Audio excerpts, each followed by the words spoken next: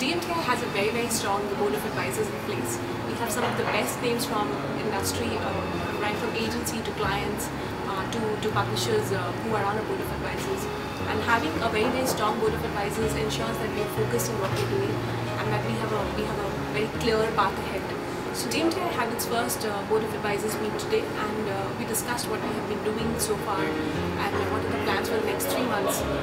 We obviously have spoken about the long-term plans but we have the next three months agenda very very clear in place with, with a lot of feedback in terms of what we should do or should not be doing uh, from the board of advisors. And uh, this is something that we plan every quarter and uh, this, is, this is something that will ensure that we are on the right track